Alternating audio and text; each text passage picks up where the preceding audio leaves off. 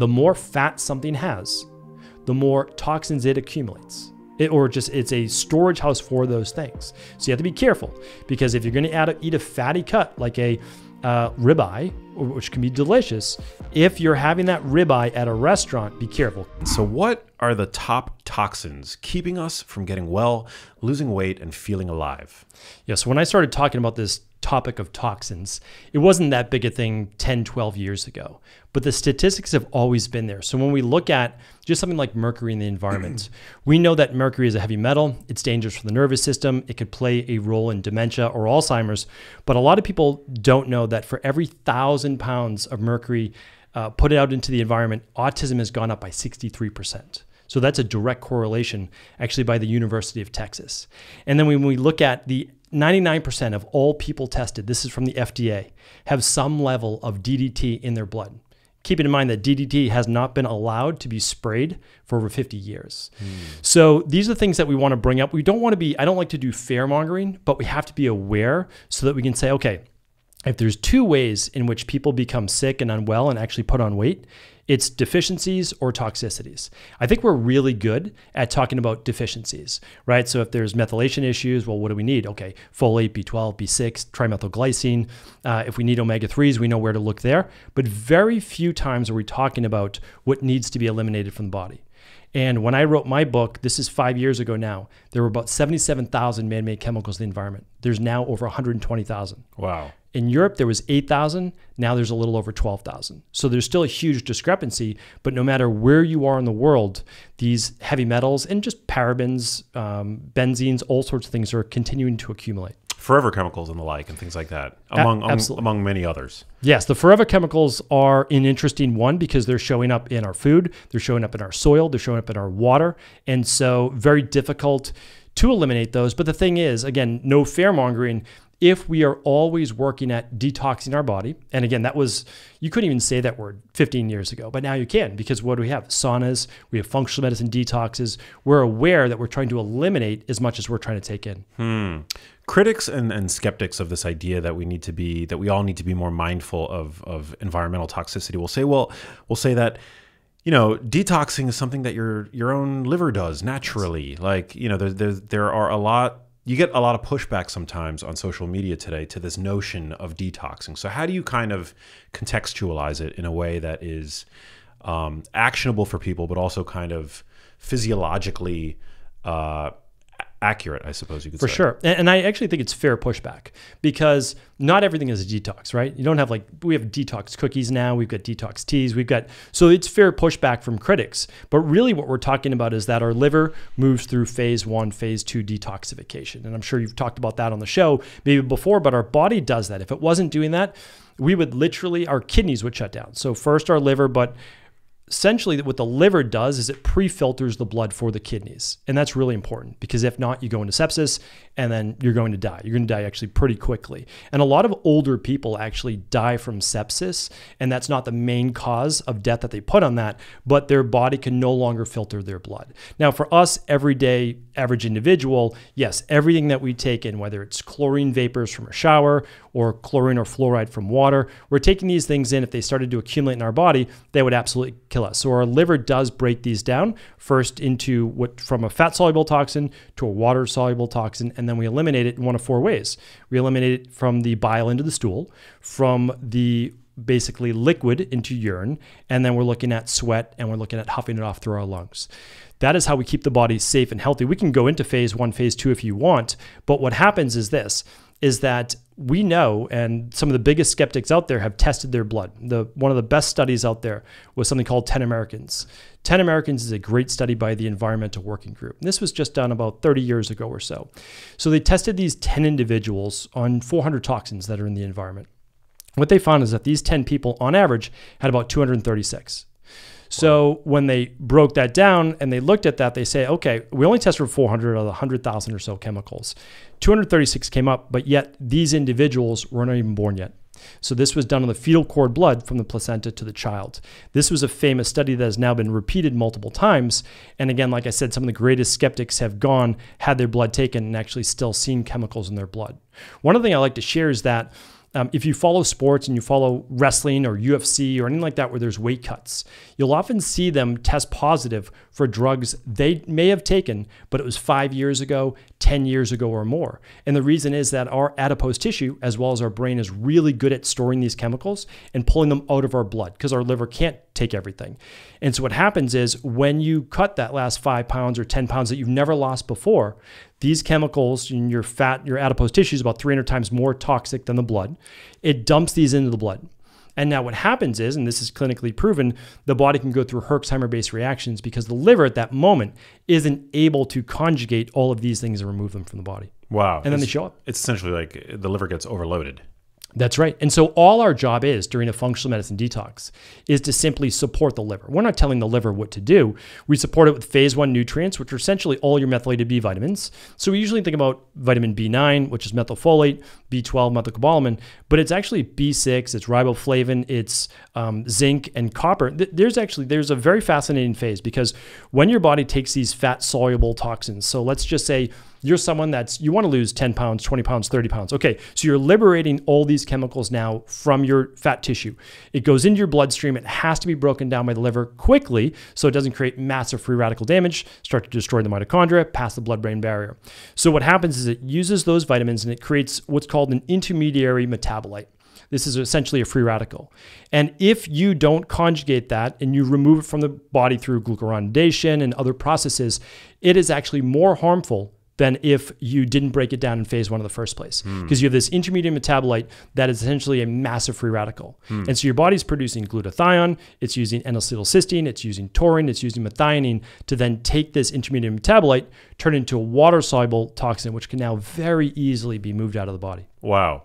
So I definitely want to go deeper into your protocol for helping the body assist the body's own endogenous detoxification pathways. But among the hundreds of thousands of now man made chemicals that are pervasive in the environment, how do you then, like, what is your approach to, um, to reducing exposure, right? Like, because you can't, you also can't drive yourself crazy. That's right.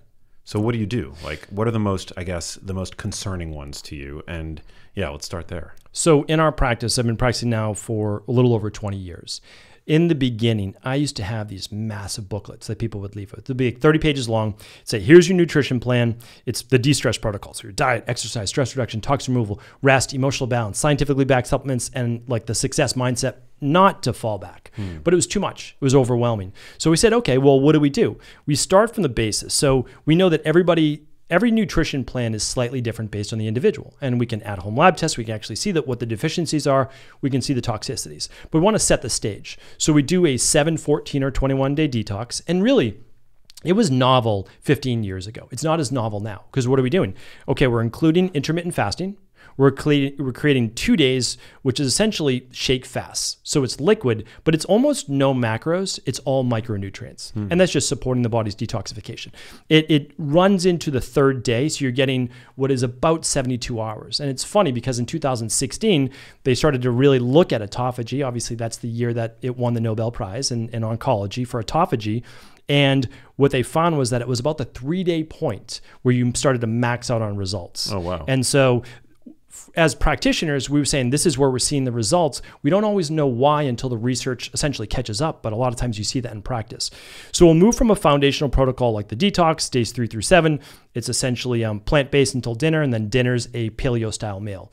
And it's not that we don't believe in eating meat and fish and those types of things. It's just now, again, research just over the last year has shown that if you continue on just plant based foods, so you're not getting as much of the leucine, isoleucine, valine, you actually stay in more of an autophagy based state, even when fed. And the reason is that you're not increasing mTOR as much, and AMPK is staying a little bit higher. So that was fascinating. So again, all, it was only based on what we were seeing in practice. And then, of course, the body, you don't want to become too catabolic. So then having some fish or some meat um, can be very healthy for you. So that's how we set the stage. And then it's based on individual protocol. And what we want, just getting back to the toxins, if you can, we want to work on three things clean food, clean air, and clean water. Hmm. And that's basically it. That's how we start. So, good quality air filter. You're done. If you can only get one for your home, you put it in your bedroom an hour before bed, and then you have it there overnight. Then you move it into your main living space or wherever it's going to be that next day. Clean food, Dirty Dozen, Clean 15. So that's that's a big part of what we do because maybe someone can't afford all organic. It would be great, but even in general, it's hard to sometimes even find all the organic food that you want. And then the um, the clean water, just a great water filter, you know, is a must. I'd say that's if I was looking at all of them, I would say a good water filter is number one because of the amount that you're consuming, and then an air filter, believe it or not, and then the the food. Uh, because of the aluminum, I, I think that's a big part of it. W- one more fact that I want to give you is that the aluminum. I always thought the greatest amount of aluminum was from aluminum foil, aluminum antiperspirants, eh, and maybe even tap water as well, because there's a lot of aluminum in tap water. Through my research, what I found, and again, I'm studying this research, is that it's actually dust particles in the air. Wow. So the average person will consume essentially anywhere from 10 to 50 milligrams of aluminum per day as salicylates, aluminum salicylates.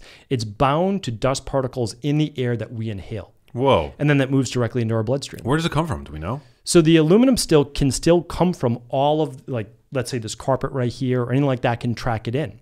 But the aluminum is still in your cleaning materials. Uh, that's essentially where it's off gassing coming from as well. Wow. Yeah, we had an amazing neurologist on the show recently, Dr. Ray Dorsey, who um, whose work you should definitely mm. become become familiar with if you're not already. He's you know board certified neurologist, came through the allopathic medical system, and you know he attests to the fact that at the point at which he he finished medical school, he believed that the that our food was clean, the air was clean, and the water was clean by default, right? Yes. But he no longer believes that to be the case, and he's you know done a, lot of really great work making the link between exposures to these sorts of synthetic uh, industrial pollutants and the etiology of conditions like Parkinson's disease, which mm-hmm. is this, like this incredibly mysterious condition, which whose you know the incidence of which has just skyrocketed over the past couple of decades. Yes. But it's just, uh, but it can get so overwhelming. I think for your average 100%. person, you know, and that's such a big I feel like problem. And you know, we live in a time now where you know, on the wellness with the with the the the the, the wellness industry as big as it is, and and social media, people are getting messages left and right for, about where they should begin their health journeys, where they should place their focus. So you would say these three big areas first and foremost cleaning up your air, cleaning up your water, and making sure that your food is as quote unquote toxin free as possible. Without a doubt. And then just adding your own 12 to 16 hour intermittent fast to that. So whatever works best for your body. And the purpose you, of that is what? So then an intermittent fast, one of the best things is you're just not putting anything else that could be a toxin or well keep in mind like everything that we eat causes oxidative stress in the body. So even if it's a healthy food. So all it is a period of rest so that your body can do what it innately knows how to do which is heal. Hmm. but if you never give it that time and you're always eating you're always consuming even if it's the best foods you're using energy first of all which you know your digestive system uses there's all sorts of quotes 25 to 40% of the energy you know in a day goes to digestion. So that's why a lot of people once they start fasting they automatically feel better. Well they gave themselves back the energy that they would typically use for digestion. And also since so many people are eating foods that they're sensitive to creates a lot of inflammation and that inflammation then is also draining on the body. So the intermittent fast uh, is is multifactorial. I would say the least purposeful is for weight loss like it's great, it can be a tool for that, but really it's it's a health resource. It allows your body to move out of mTOR and anabolism and growth, which our bodies need, but they need to be equally balanced for you with a period of AMPK and autophagy, which is a period of cleanup in the body. Hmm. So if we have too much growth, that's bad. That could lead to cancer, cardiovascular disease, high blood pressure, type 2 diabetes, but also too catabolic then what do we have as well? The body breaks down. There's entropy, there's sarcopenia, there's bone loss. And that's hard to get back the older we get. Would you say that we're not already sufficiently fasting when we are sleeping? Well we are for let's say that for eight hours right yeah. but if we think about the totality of the day we have 24 hours and when we look at this thing called rhythmic fasting which i'm a big believer in so part of my internships were overseas and i went studied in sri lanka i studied in india uh, hospitals in china traditional chinese medicine Europe and the United States as well. But one thing that I found that was that really was across all forms of medicine except Western medicine was this eating during daylight and not during dark. Hmm. And now there's actually clinical research behind that to show, yeah, it makes sense that the digestive system is more awake, for lack of a better term, when it is light out and it starts to cool down. Like we start to cool down the engine when it's dark. If we rev it back up with blue light or with food, what are we doing? Well, we're turning back on cortisol. We're turning back on those stress hormones that shouldn't necessarily be there. And you might say, well, eating is more parasympathetic. I would agree with you, but for most people, what are you doing when you're eating? You're still like you're you're talking, you're you're still doing a million different things. And so I'm a big believer in rhythmic based intermittent fasting. Try to get your last meal in around dark hour. Let's say it's five o'clock earlier in the winter, might be a little later in the summer. That's okay. And then go 12 hours without eating. So you have 12 hours to build, 12 hours to then break down. Uh, little nuances to that though, because when you look at, um, let's say, the endomorph body type, mesomorph body type, and ectomorph body type, that's why I don't believe in blanket statements. I really like to look at a personalized based approach. If you're an individual, and let's just say you're 5'8 and you weigh 140 pounds, and then you're another person, I've literally had clients that are 5'8, 205 pounds, just larger humans. I mean, that's it, like bigger bone structures, more mass. And does that person 205 need a longer intermittent fast? uh, or a shorter one. And the person who's 140 pounds at 5'8, do they need a longer intermittent fast or a shorter one? Now, if you looked at their labs, you could you know maybe personalize it even more. But just in generality, the person that's 205 is carrying more fuel, right? And they should, they're more prone to higher blood pressure, type 2 diabetes, more, most endomorphs are. Where the ectomorph, they're more prone to hypoglycemia. They're more prone to catabolism. So for that individual, I'm leaning more 12 to 14 hours. If there's a health issue, maybe I'll go longer. And then the other individual, not only I doing closer to 14 hours, maybe 16 earlier in the night, not so much um, past breakfast where it could spike cortisol, but I'm also looking at maybe one day a week, 24 hour fast, Sunday night to Monday night, that they're doing, doing a water fast or they're doing, you know, maybe green juice, something like that that's more catabolic. Wow, super interesting. There's also like an Ayurvedic, because I know you're an expert in Ayurvedic medicine. Does this have any correlate with like the Vata, Pitta? Like, yes. walk me through a little bit of that. So once I start speaking that language, though, people start to like glaze over and they're like, "What are you talking about?" Yeah. But yes, the Vata correlates with the ectomorph, the Pitta with the mesomorph, and the Kapha with the endomorph. Hmm. It's just they discovered that six thousand years ago. We discovered it about 60 years ago. And it was actually done with somatotypes. And the somatotypes was actually done for psychology. Hmm. Because when you look at that, the vata, which is true, is more prone to anxiety. They're more prone to restlessness. The pitta is more prone to, well, we could, we could go down a rabbit hole, but more of like the, the leader um, go after it, but also like kind of push everybody out of their way as they're moving through it. And then the endomorph is usually more chill, they're more relaxed, they're more easygoing. Now, is that across the board? No, because there's something, there's the nurture and there's the nature, right? Mm-hmm. And that that's a big part of it. So we all have a genotype. And in Ayurveda, they call that the Prakriti. But we all also have a phenotype. It's who we become. And that's what they call the Vakriti in Ayurveda. So they used all of these terms, which is super fascinating, 6,000 years ago. And we're essentially just rediscovering them today. It's so cool where when modern science catches up with the wisdom of the ages. Yes. Yeah, I love that. And to be able to use both though, I mean that's the amazing thing. Yeah, totally. I'm um, you know, I've always said that my my own perspective, my own I guess philosophy on health and nutrition, it's I like to be what I call evidence based, but not evidence bound. You know, I think yes. it's really important to be informed by scientific data, right? Mm. Like to always be up on the data and to and to be able to pivot when new data presents itself that challenges your old um, assumptions or, or beliefs mm-hmm. beliefs. But uh, but there's still so much that we don't know. And then you hear things like the fact that you know we'd kind of known about these body type archetypes for millennia Yes. And it's now it's just now that science is like really kind of cementing those as you know these quote unquote evidence based like body types and the like. But um, but yeah, there's so much I think wisdom to be gleaned from whether it's like traditional Chinese medicine or Ayurveda. It's so I don't cool. I don't think that you yeah, you don't. So a lot of people are saying, well, you know, I'm science based. I'm, uh, and I totally get that. But also in science, and I love, you know, science. And so the thing is, you can find a research study to support anything that you believe in. Oh yeah. Right. I mean, so that's the thing is that we kind of have to be careful here. Like I could go off and just totally say this is the best thing. But the other person also says this is the best thing.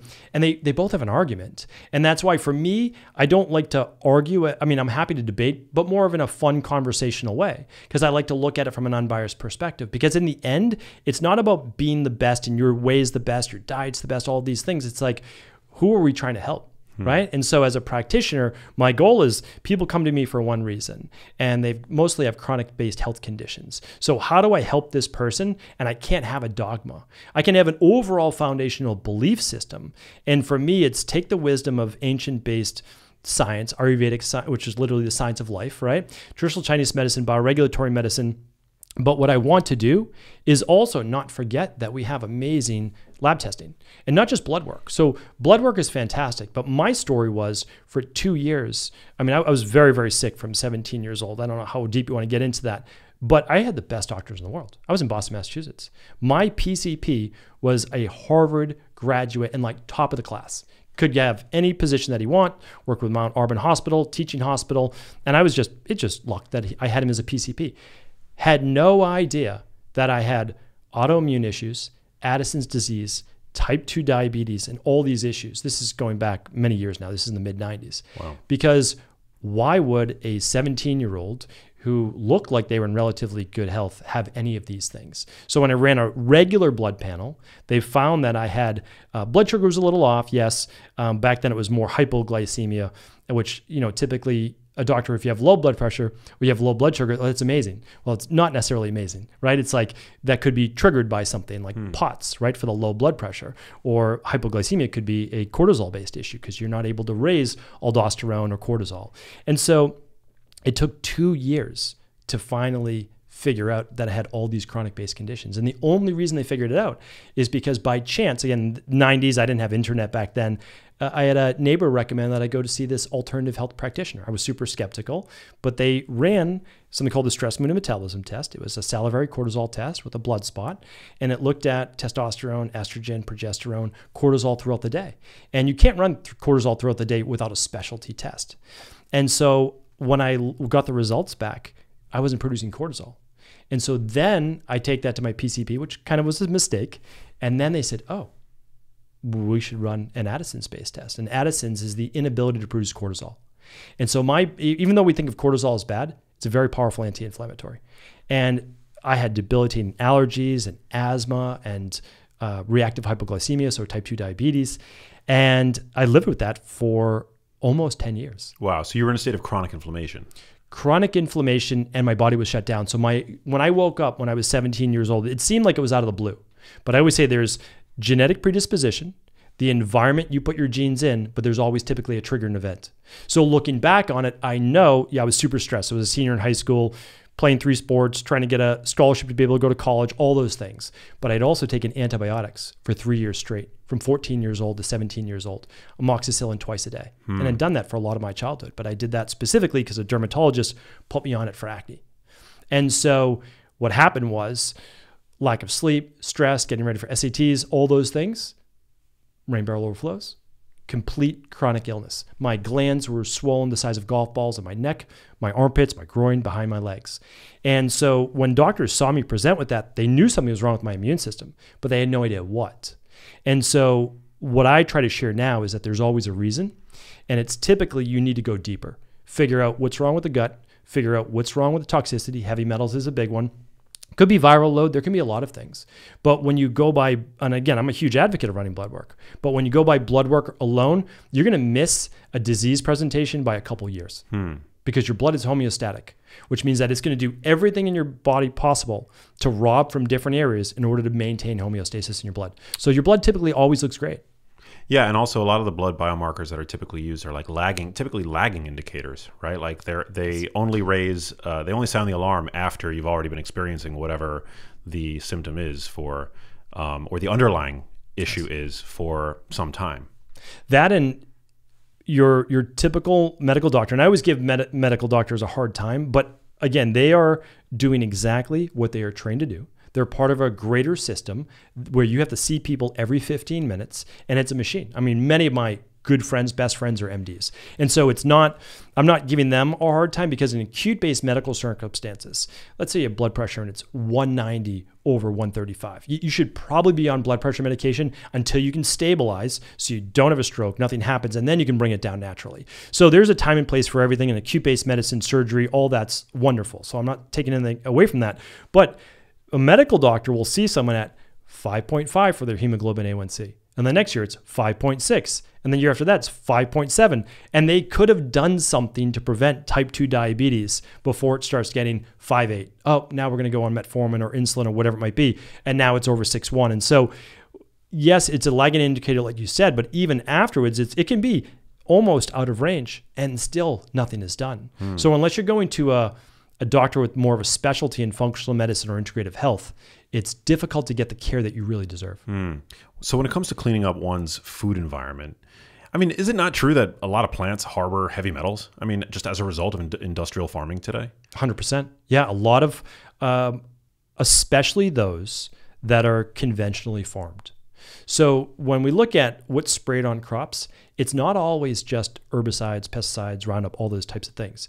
It's also what's in the soil, and they're using copper can be used as a, pest, a, natural pesticide. So it's really important because one of the labs that we run is called the minerals and metals test. And that's why I, I know why aluminum is so pervasive in the environment. Almost no one comes back with zero aluminum. Hmm. Almost no one. I mean, it can just be a small amount, but every almost everyone has a little bit of aluminum. Well, what we're seeing more and more is copper toxicity. So people are coming back with higher levels of copper. It doesn't make any sense. It can be two reasons. One, over the last few years, um, people have maybe been dealing with a little bit more sickness or virus or whatever it is. That will actually wipe out your zinc. And it's important because everything in the body, and that this is not taught necessarily in school, has an antagonist. So an agonist antagonist. So zinc and copper are partners. Calcium, magnesium are partners. Sodium and potassium are partners. So if you push the lever too hard on one, it will raise the other. Hmm. So, for example, if you're depleted in zinc, it will naturally allow copper to accumulate in the body. But if you add more zinc, it'll drop copper down. So, it's actually very easy to get copper out of the body uh, in a healthy way by increasing zinc. But the just kind of bring it back full circle, we're seeing a lot more copper specifically sprayed on plants as more of a natural based pesticide. So, I'm careful to eat the vegetables and the fruits that you can't wash it off of. That's one of the biggest things where it embeds in the skin is a challenging one. And correct me if I'm wrong. Copper is uh, these copper pesticides. These are approved under the organic certification. Are yes, they not? They yeah. Wow. And zinc, super important for immune function. Found primarily where animal source foods. Animal source foods, pumpkin seeds, a few others for sure. Like there are vegan sources, but that's why I'm more of a omnivore based approach, meaning like every food has tremendous benefits from it. And then some people do better with certain foods. But what I found over the years is that we need fruits and vegetables. Like we, we need those for sure. When you look at that, like the preponderance of evidence says the more fruits and vegetables you eat, the healthier a human you will probably be. But at the same time, a lot of people get bloating. A lot of people get gas from fruits and vegetables. And it's usually for one of four reasons parasites, H. pylori, uh, SIBO, small intestinal bacterial overgrowth, as well as yeast overgrowth. And so the problem is, you know, we eat these things. Let's just say, well, it's it's anything fermentable, right? So we eat these things, and people start to feel bloated two, three hours later, and they blame it on the food, like the fruit of the vegetable, when most likely they should be peeling back that onion a little bit deeper and say, why am I getting all this fermentation? Why can't I eat normal fruits and vegetables? Whereas, like a human, um, if you were, if you had access to all the food in the entire world, it's just easier to pick fruits and vegetables, right? So I'm not saying that you can't eat meat and fish, but these things are absolutely supposed to be part of the human diet, also because they are the only thing that we know of that helps to prevent or give us our best chance of preventing cancer hmm. is brightly colored fruits and vegetables and specifically the polyphenols in those. Interesting. So cool. Yeah. I mean, I, am a huge advocate of, of like fruit and vegetable consumption. I think it's like fairly irrefutable, but you're right that everybody's different. And a lot of people, yes you know, there I think a lot of the, that nuance gets lost on social media. You know, you either have people who are like, you should never eat any vegetables ever, broccoli is killing you, right. or all you should be eating are fruits and vegetables left and right. You know, yes. we should be striving for 150 grams of fiber a day. And I think for most people, especially today, that is just a recipe for GI distress. Huge. And that you never want to jump from 15 grams of fiber a day to 30 to 50, you're, you're going to feel it. And so your microbiome adjusts actually very quickly. The enterocytes and the, the biome itself, they've shown, can change over a two to three day period of time. So very slowly, you can just inch these things back up. But it's also meat consumption. So on the other flip side is that a lot of people go vegan because they don't digest meat very well. Okay, well, it could be H. pylori. It could just be low stomach acid for particular reasons. It could be high levels of stress. So it's saying, okay, well, what type of meat are you eating? Because um, you might not do well with a really high fat meat. Okay, well, let's start with a, leaner meat, see how you do there. And let's also understand that meat is a little harder to break down. So maybe we give you a little digestive enzymes with that. Uh, we could even do bitters. We could do a little bit of apple cider vinegar. We could help with that process. Ginger tea is another great one. But sometimes it's just volume. So you start with eating just a small handful and then you work your way up. Because, like I said, there's amazing nutrients. Yes, you can get them from plants, but some nutrients are just easier to get from meat. Hmm. And so, like, just have some meat, have some vegetables. And one of the signs that I like overall is just general metabolic and physical flexibility. So back when I was at when I was really sick, I couldn't miss a night's sleep. If I missed a night's sleep, glands are swollen, immune system shutting down. Like I was a mess. I couldn't do an overnight flight because I would just I would be done. And so what I've seen now, as you know, I'm, I'm now in my mid 40s, getting closer to 50, is like I'm stronger in terms of metabolic flexibility than ever. I can go a day without eating, and like that's really important that you get your body there, but you don't just start there. You work that up, and there's also no race on social media. It seems like there's a race to get somewhere, and if we look at it now, I believe humans uh, and this is this is not just a hypothesis. Men and women die somewhere between the age of typically 74 to 77, but they die for cardiovascular reasons, high blood pressure and stroke, type 2 diabetes complications, cancer, and Alzheimer's. After that, nobody talks about there's almost no real cause of death. Okay, so there's COPD and emphysema. Well, if you don't smoke or inhale chemical irritants, you're almost not going to get those. After that, it's accidents. It's literally motorcycles and falling off your roof. Now, like that's legitimate. And so, what do we? What do we really? And then there's kidney-based issues, but they don't say the kidney-based issues are really based on high blood pressure and type two diabetes. Mm. So, if you don't die from one of those five causes, and, and all of them are very preventable and you can catch them early, the only one that's difficult to treat right now is cancer. If it's not caught in stage one or stage two, like I'm, I'm always, you know, gonna be honest, it's hard in stage four to treat to successfully treat cancer, but we can, you know, but it's it's gonna get easier. Alzheimer's can be found, and I know you know this, 20 to 30 years early. So if you're doing a full body MRI with a brain scan, or you're doing one on Dr. Amen's or something like that, you're going to be able to see the first signs. You can start to then use the MEND protocol and other protocols to be able to then reverse Alzheimer's. Like I'm very passionate about that because um, as someone in my family who has Alzheimer's and ApoE genotype, we know if we're more prone to it. But you don't have to live in worry. You can literally just run one lab a year and be like, all right, am I good or am I good? Okay, I'm good. Oh, good. I get now 12 months to breathe and I'll do it again. But doing the things that you need to do to get there. So, all that to say, if you don't get one of those five, you're almost guaranteed to live another 10 to 12 years. Wow. So they found that people who make it to 82, free of those things, can live easily to 92. And now, with all of the advancements we have going on actually in medicine, likely i don't know that we're going to get to 150 there could be a major breakthrough just like you know the large language models are now. Like you can have a big breakthrough. But right now safe to say most of us can get to about 100 little over 100 for sure. By minimizing our risk for these the the, the big non-communicable the conditions. big five yes. The big five. What's your take on there's a lot of uh, a lot of people now are talking about longevity through the lens of a, I guess you could say, a muscle forward approach. You know, a mm. muscle, to quote uh, our friend Gabrielle Lyon, a muscle centric approach yes. to uh, healthy aging and longevity, um, which I think necessitates, if we are optimizing our diets and our lifestyles for muscle, tends to necessitate a higher protein diet. And the best quality protein tends to be animal source protein. And um, and so yeah, what's your what's your what's your general take on that? So and Gabrielle's amazing. Peter Attia is amazing. Like I love them both. They're fantastic. But I also read all of the work of um, David Sinclair, uh, Longo, etc. And they're more low protein, basically vegan, more plant based. So you have two opposing views, but both people want the same thing, and both are right. So then it comes down to personalizing what works best for you. So I say this should a person, average American, that's sedentary, doesn't even get more, the average steps in the United States is about low 3000 it's like 3500 that's what we found in our practice. We track everything. So left to your own devices about 3500 steps per day. I've seen it myself. You know i research I, I you know my daughters make fun of me but um, i read I write, I research, I record. That's what I do. And so I'm at my desk the majority of the day. I've got a walking treadmill, all those things, but I have to be conscious of walking because if not, yeah, I get 30, you know, 3,500 steps a day as well. So let's say you're not weight training, you're not doing cardio aerobic base, you're not doing your zone two, you're not doing all of these things. Should you be eating one pound per body weight? I don't believe so because you're not metabolically active enough. There's no real cell, there's no muscle turnover to the same degree. So those individuals, I believe, are going to be more. Again, would love to see more research behind this. You're sedentary. You're more of an anabolic state. There's no catabolism. There's no breakdown, and you're increasing then mTOR and you're increasing mTOR not at one or two meals, but actually breakfast, lunch, and dinner.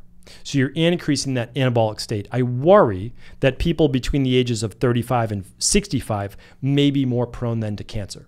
It's the one that I'm most worried about because it's the hardest one to fix. So I'm always trying to mitigate risk for that. So what I do is when I work with athletes, I work with people more uh, more active or more on the ectomorph side, ectomorph to pitta side. So we'll kind of go in between vata pitta.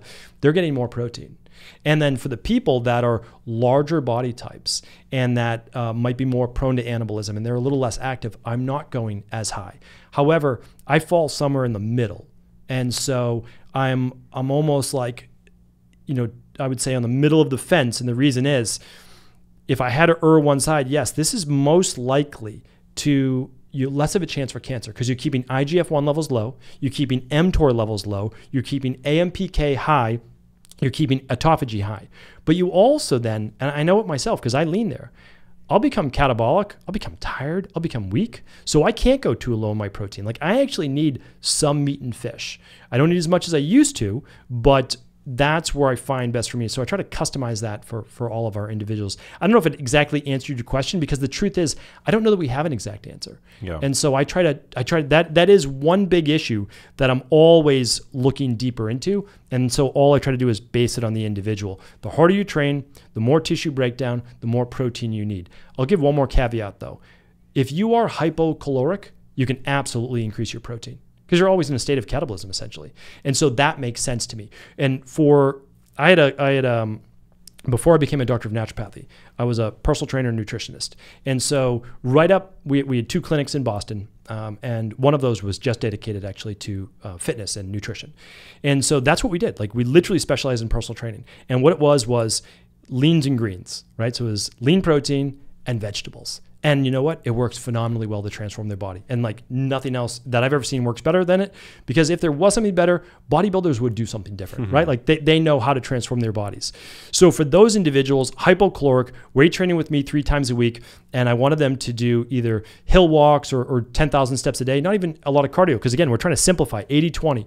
They had high protein. They had one pound per uh, one pound of protein per pound of body weight, and it works phenomenally. One well. gram of protein. Sorry, one gram of protein. yes, that would be. That sounds like a challenge I'd be willing to take, but that yes, that does um, seem like a lot. And, and it works, and it, it does work well. So for body transformation, no doubt about it. Um, but I, I want to put some caution to that just for long term. Um, yeah. Yeah. Yeah, it's it's an interesting interesting take for sure. I don't know if I would put my stock in the dietary recommend, re- recommendations per se of David Sinclair and Walter Longo, even though they're they're both brilliant scientists. Not I'm not trying to take anything away from the science that they've published, but um, but from a dietary standpoint, I feel like there's really no I can't think of any downside to cons- to quote unquote over consuming protein in part because I think it's so difficult to overconsume protein because it's so satiating. So yes. for that anti-obesogenic effect alone, that it, you know, when you when you tend to focus on protein in your diet, it tends tends to make you less inclined to overconsume the other stuff, which is energy by and large. Yes. Which you know, it's hard to argue that anybody in the Western world is in a state of energy uh, deficit. You yes. know.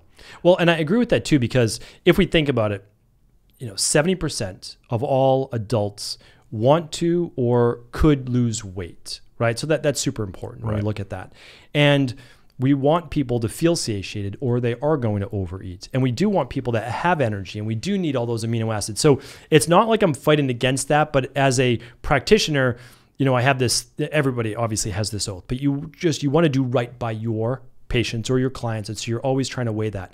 Now, the in the grand scheme of things, when you look at it, if you're on a 2000 calorie a day diet, you can still eat 100 grams of protein, which you know, David Sinclair, Walter Longo would say is way too much. And maybe, again, Gabrielle's work is amazing. Um, Peter's work's amazing. They might say it's too little for like 150 pound, maybe individual. But 100 grams of protein is still pretty good. And that's still at 20% of their macros which when you look at a lot of people feel once you go above 20%, you might be pushing mTOR a little bit. But again, if you're in a hypocaloric state and you're doing 12 to 16 hours of intermittent fasting, I think all that levels out. I really do.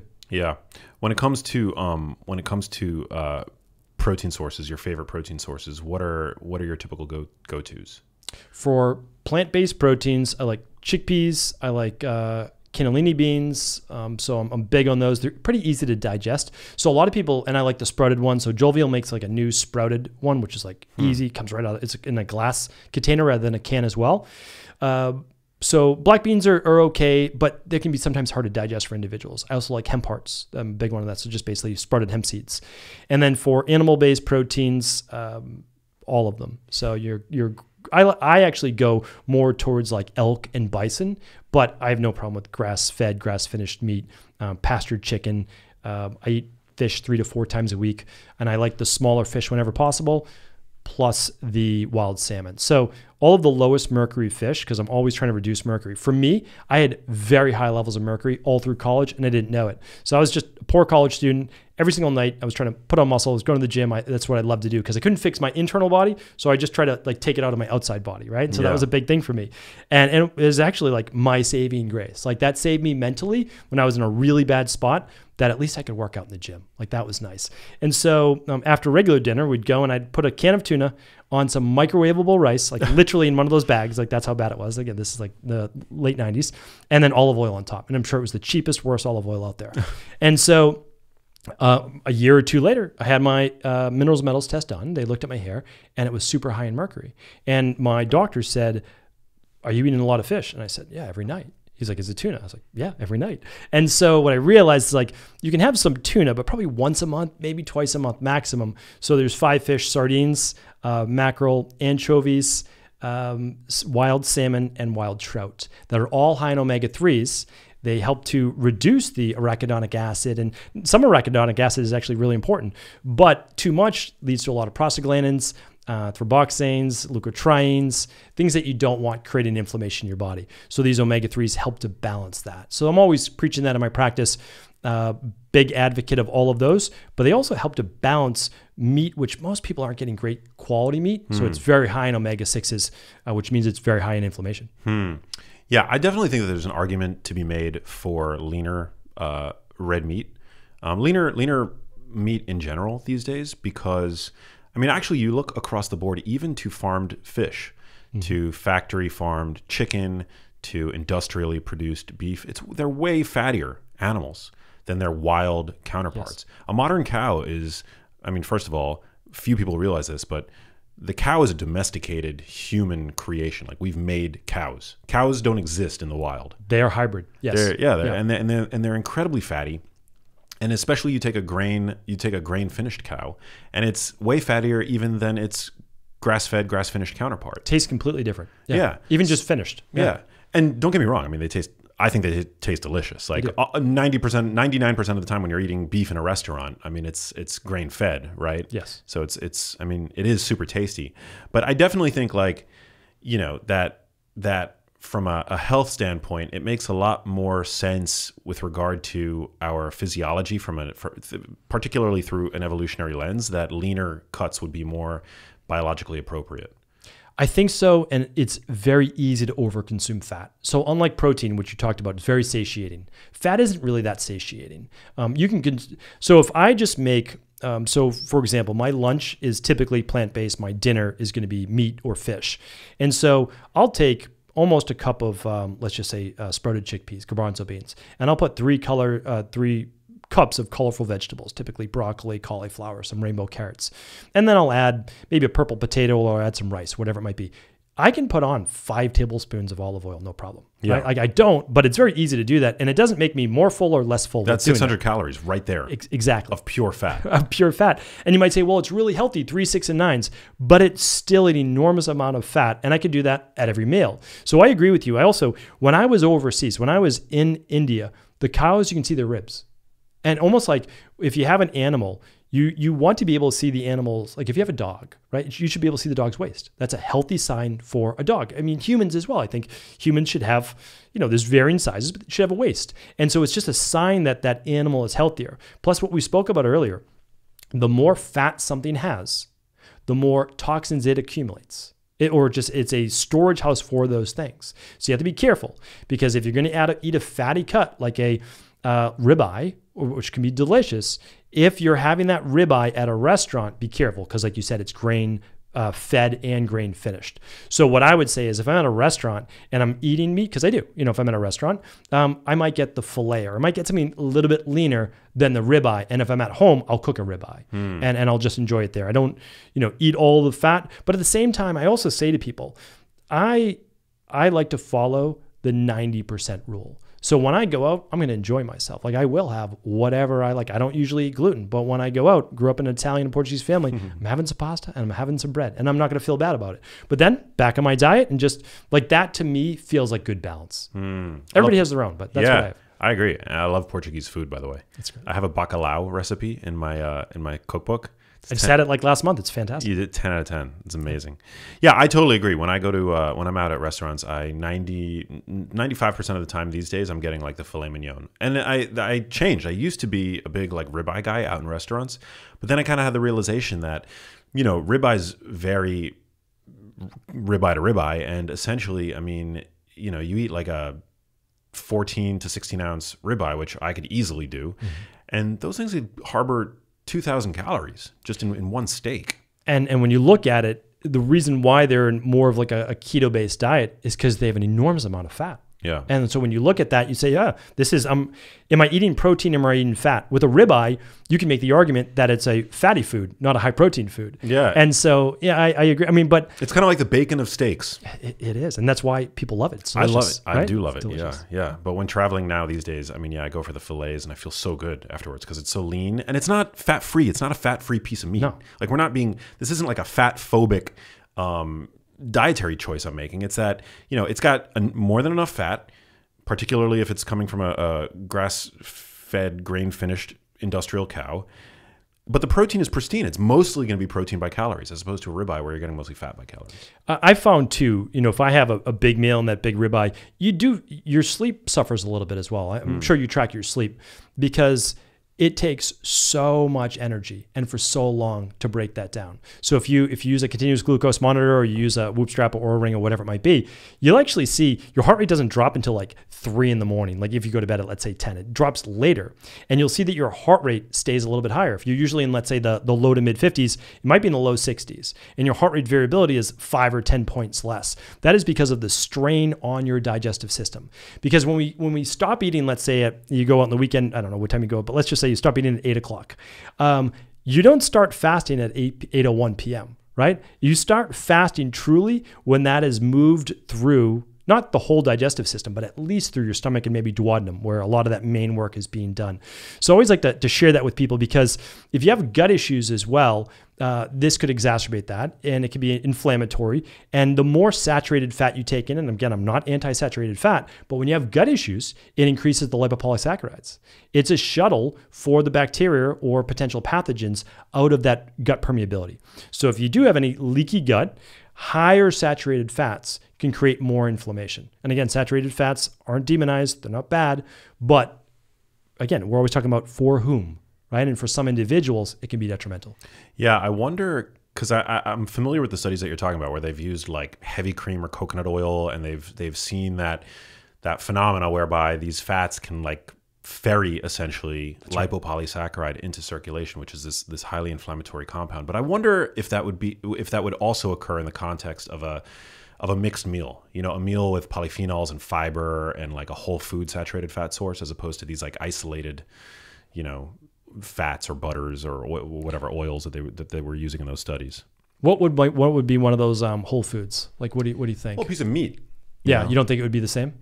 I don't know. Yeah. No, I'd like to see that as well. I mean, I'm, these things make me curious. Like, I actually, these things should be tested. And it's also why I'm not adamant in what I say besides foundational based. Well, I will say I will say this to that to that question um, that red meat hasn't been found to be inflammatory. Like a pro, like there are randomized controlled trials that look at the one that I'm thinking of was funded by the Beef Checkoff Institute, but that doesn't invalidate a study. You know, um, did it was a, met, a meta analysis of randomized controlled trials that looked at inflammatory inflammatory you know cytokines in relation to beef feeding um, in these like RCTs, and they found no no significant inflammatory effect.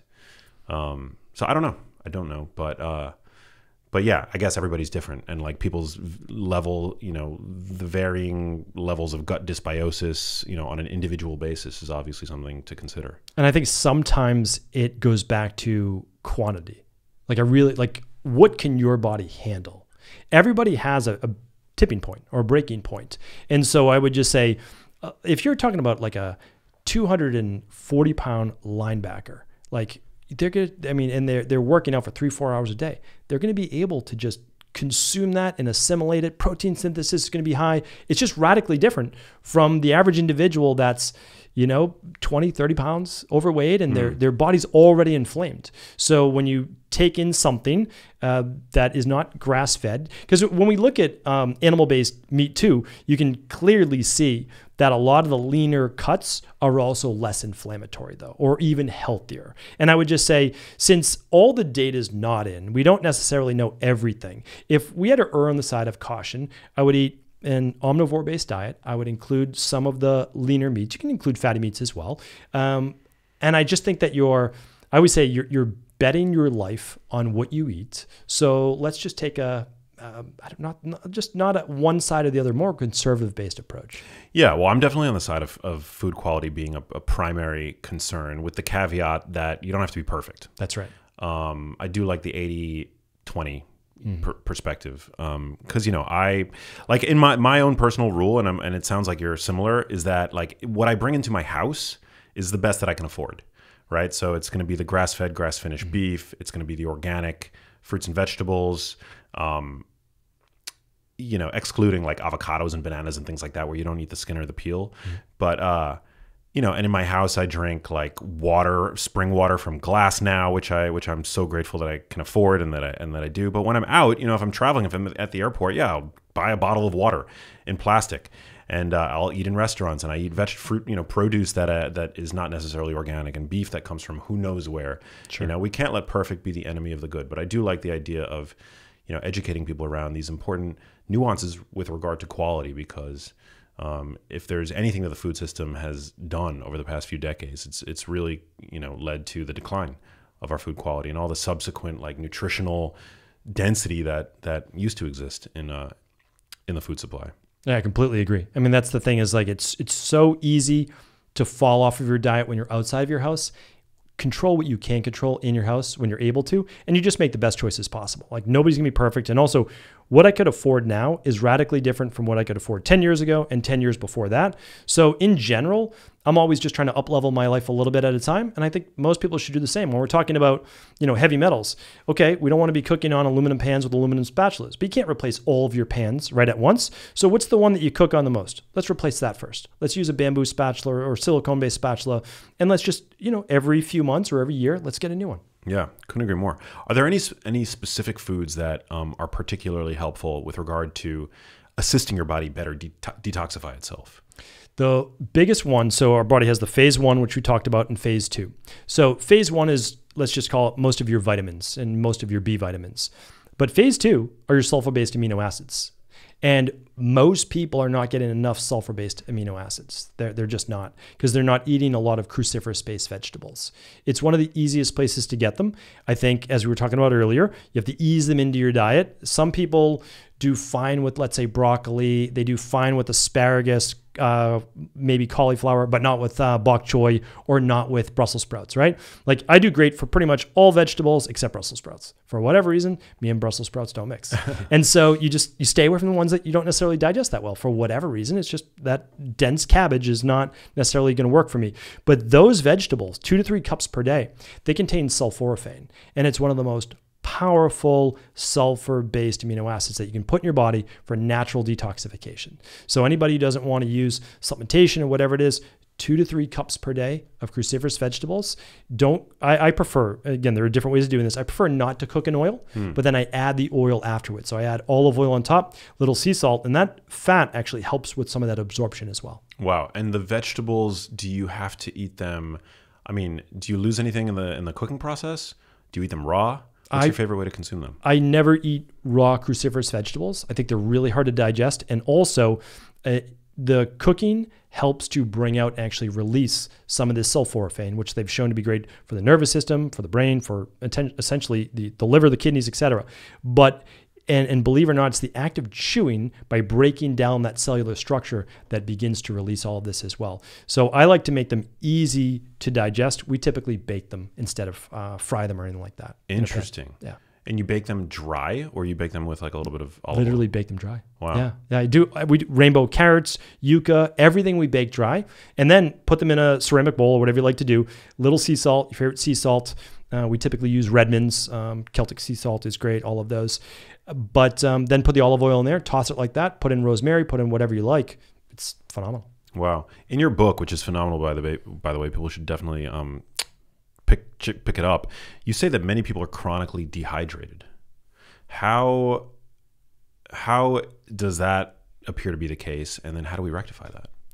Well, when I say chronically dehydrated, I mean not at a blood plasma level. I mean at actually at a tissue level. Hmm. So when we look at how does the body, you know, really function, it's essentially we we always think about vitamins, but really it's minerals, which are essentially electricity in the body, and the cell membrane itself, which is yes, it's a bilipid membrane with fat, but it is essentially an osmotic process of moving sodium, keeping the sodium out of the cell, keeping the potassium in the cell, and without proper hydration, meaning not um, like reverse osmosis water is great, but you want to add some minerals back in, and you want your water. I don't know if they have to go through a structuring process to actually be absorbable. And so what we're looking at now is that I'm not against sodium, but the majority of Americans are very high in sodium and very low in potassium. Hmm. And their body's not able to absorb the water in the same way at a tissue based level. So they, and I've, I've just, we've seen over a quarter million people in our practice, now well over 300,000. We've run over half a million labs. And so when people come in, and I say, How many glasses of water are you drinking per day? And the average is like two to three. Like, oh, when I have a meal, I have that because I have coffee in the morning. And it's not that coffee is dehydrating, but it's not hydrating. You know, if you're, they, they have a great, this study's been out now for 30 years, but if you've been drinking coffee habitually every single day, coffee doesn't dehydrate you, it just doesn't hydrate you, right? And so it's just like water in, water doesn't even necessarily come out. but when you're drinking regular water, people are having to urinate, like they're having pee all the time. And that's because their body's not able to absorb it. They don't have proper levels of magnesium, they don't have proper levels of potassium. So at a tissue based level, they can't actually draw that in. So what does it look like? Fatigue, brain fog, migraines, dry skin, dry hair, dry nails. Their, their tissues are literally dehydrated. Wow. Are you a fan of? Do you reverse osmosis purify your water? I do now, yes. So I didn't until about a year and a half ago. I used a regular water filter or I bought spring water, but I was also sometimes using glass, sometimes using plastic. And I said, you know what? And even though it was like Icelandic water, like good water, I said, I'm not using plastic anymore. Again, just like you said, in my house, no more plastic. And so that, that's what we did. And so um, we have glass bottles of Mountain Valley and San Pellegrino, which I really like, and Mountain Valley still, and then San Pellegrino sparkling. But I got an, a reverse osmosis filter that's on the countertop. And um, if we end up staying in our place, I'll get a whole house filter so that I don't have to have a separate one in my shower and the bathtub and all those things. Yeah. yeah. But it's been very helpful. Yeah, I was using a um, an AquaTrue reverse osmosis purifier for a long time until I uh, realized I had the resources to just get delivery like spring water in glass Mountain Valley to my house, and uh, and it's been like amazing. I just I love it.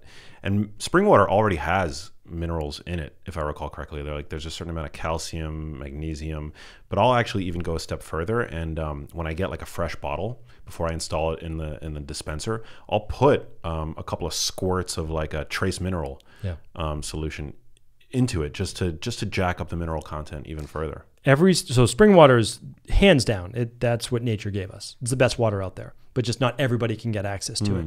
So if you can in a glass bottle, like they actually have delivery services of the five gallon glass jugs now that you can put right on. I don't know if that's what you get. Yeah, that's what I get. Oh, you get what you get. That's Yeah. fantastic. So they don't have that in my area, but um, I think it's that's the best thing And because then they're recyclable people- and all that. Yeah, like people don't need to do that. It's a, it's it is definitely a very privileged thing that I do, and I you know, but I've I've worked hard, and I'm very proud that I get to do it, and it tastes great, and I give it to my cat. My cat only drinks spring water, but um, but yeah, it's amazing. But before that, for years, I was using the the AquaTrue um, purifier, and then I was adding like the. Tr- that's actually why I have the trace minerals. I had them in my house because you can you buy a bottle and they last forever. Forever. Yeah. and so I was using it for for the water that went through the purifier.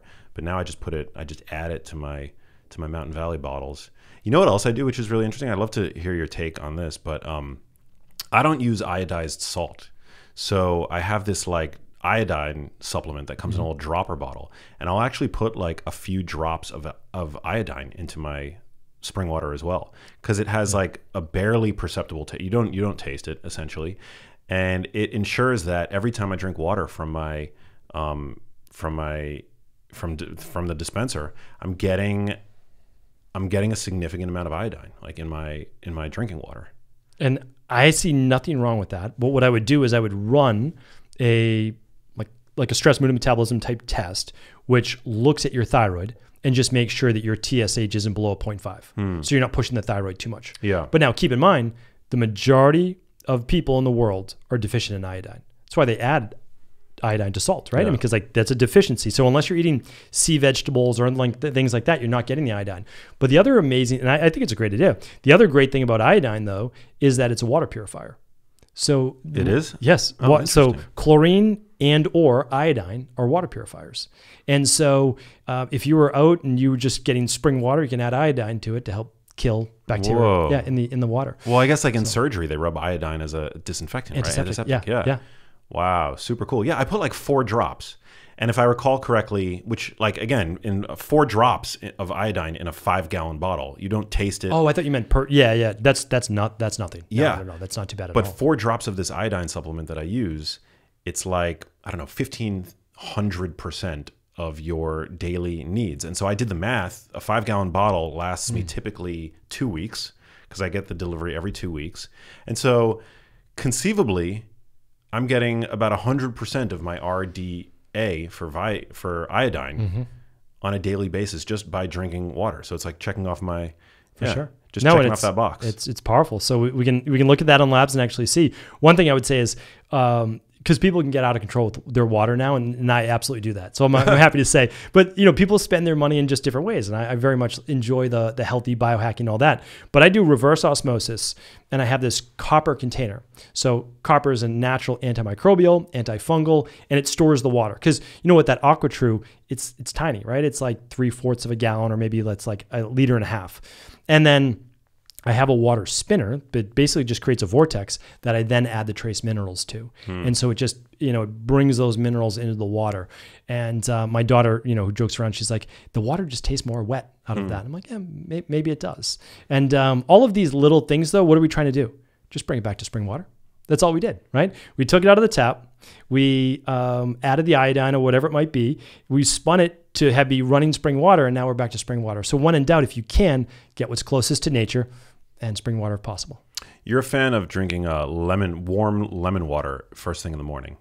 What are the benefits of that? Yeah, lemon water. And if the person runs a little bit, let's say um, a lot of people that I work with in my practice, a little lightheaded, a little weak, little brain fog, pinch of sea salt as well. So lemon provides you, it has some sodium, but it provides you with a lot of potassium. And the sea salt is the sodium. So I call that essentially a natural Gatorade. And so what you're doing is you are now better able to absorb that water coming in dry from eight hours. It's usually not eight hours, like eight hours in bed, but most people don't drink for two to three hours before bed any water because they don't have to want to wake up to urinate. So think about it. It's like it might have been 12 hours from the last time you consumed anything. And so the sodium and the potassium helps you to absorb it that much better. It's just basically electrolytes. Hmm. Yeah. The, the hot water does help with the digestive system, they have shown, but that wouldn't be the only reason I use it. Yeah. I drink water like up until the point I go to bed. I wake up every single night to pee, but I like drinking water at night. I- see nothing wrong with that as long as it does not throw off your sleep. So if you're tracking your sleep and you have no issues getting the 90 minutes deep sleep and two plus hours REM, there's no issue. Dude, well, thanks for coming in. This was uh we covered a lot of a lot of ground, super important stuff. Um and I'd love to leave room for a round two because yeah, I feel like you've got a lot to offer and um, just a wealth of knowledge. And we didn't even get into like too deeply the Ayurvedic stuff and the China, the traditional Chinese medicine stuff, which I think is a fascinating realm that I would love to explore more deeply. Point. Anytime, I appreciate you having me on. Yeah, of course. Well, I've got one last question for you, but before we get to that, where can people? put- I know you put out a ton of content on social media. Where can people find you online on social media? I know you have a podcast as well. Um, and where can they pick up your book? So StephenCabral.com and it's Stephen with the PH. That is where my podcast, The Cabral Concept, is. The book is The Rain Barrel Effect and at home lab testing, which we kind of talked about today, to find out your omega 3 levels, to find out your levels of aluminum, iodine, whatever it might be. All that's at stephencabral.com. Love it. Well, the last question that gets asked to everybody on the show what does living a genius life mean to you? I think being able to find that balance. I really do. It's like I, I try to live my life healthily, but when there's a moment that's just for enjoyment, whether it's with food or it's even having a drink every once in a while, whatever it is, no guilt, no shame, just enjoying the moment. Love that. Hey, if you like that video, you need to check out this one here, and I'll see you there.